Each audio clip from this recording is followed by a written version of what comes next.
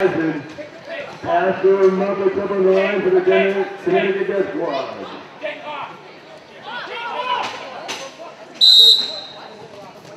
No confusion there on the 39 Once again, pass through Muppets out there, Jay for Connecticut.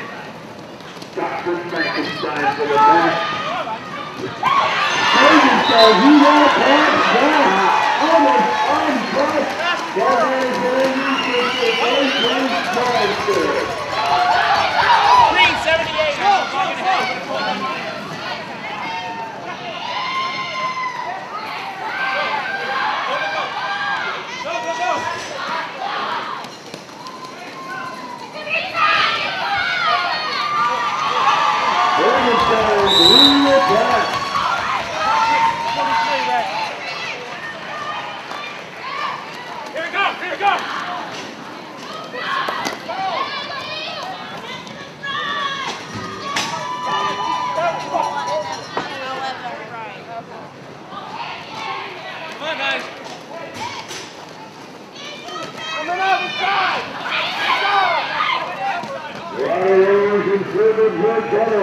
Silverstone as he comes through the segment of ground. We're going to call off that trail.